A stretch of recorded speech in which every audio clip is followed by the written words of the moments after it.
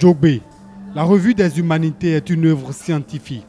Son père géniteur, c'est le LAREFA, entendez, Laboratoire d'études africaines et de recherche sur le FA.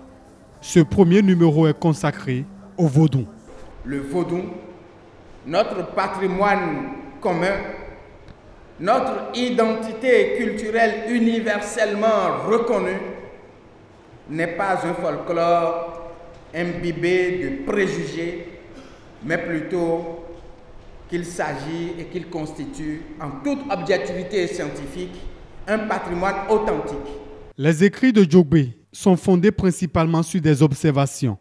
La mise sur le marché de l'ouvrage est saluée par les personnalités du monde universitaire.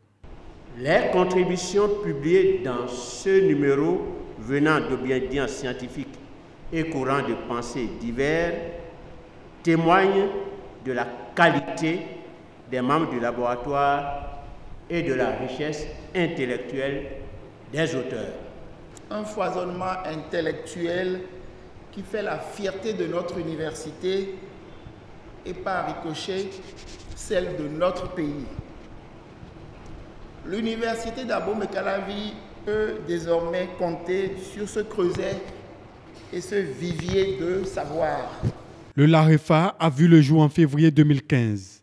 Il est sous la direction de l'actuel ministre de l'enseignement secondaire. Par devoir d'intellectuel, nous avons décidé d'engager une entreprise de réappropriation de notre culture par nous-mêmes.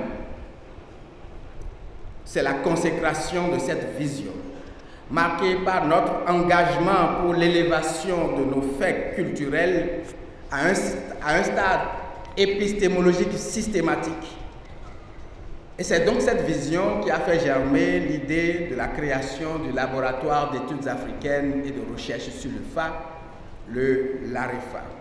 Djogbe, la revue des humanités est écrite sur près de 400 pages.